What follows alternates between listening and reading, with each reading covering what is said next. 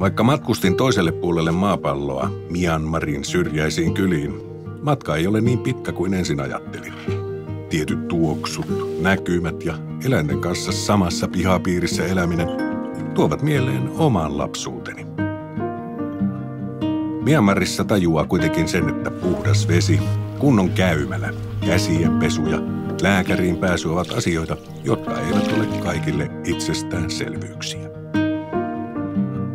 Kyläyhteisöissä tuetaan toisia ja naapurin apuun voidaan luottaa. Juuri se apu, jonka punainen risti on näihin vierailemiini kyliin tuonut, on aika yksinkertaista, mutta tärkeää ja pelastaa ihmishenkiä.